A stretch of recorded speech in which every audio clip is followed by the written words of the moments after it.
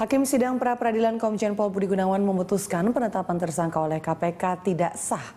Sejumlah anggota Komisi 3 DPR RI meminta Presiden Jokowi untuk melantik Budi Gunawan sebagai Kapolri.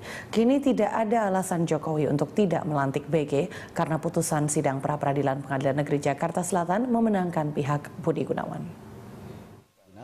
Saya kira hari ini harus dilantik karena putusan Pengadilan Jakarta Selatan itu sudah ingkrah. Hmm.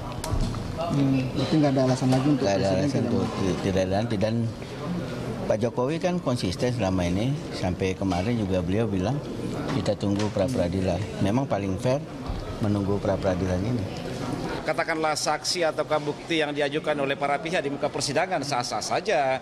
Ya, apakah memang saksi itu ada relevansinya dengan apa namanya kasus yang sementara disidangkan atau tidak? Itu kan tergantung dari keyakinan hakim dalam hal memeriksa, mengadili dan memutus satu perkara ya. Hmm, kalau dengan sudah ditolaknya seperti uh, ditolaknya berarti kan uh, mengesampingkan uh, namanya apa uh, eksepsi maupun ahli-ahli yang diajukan. Iya belum tentu, artinya artinya kan beda.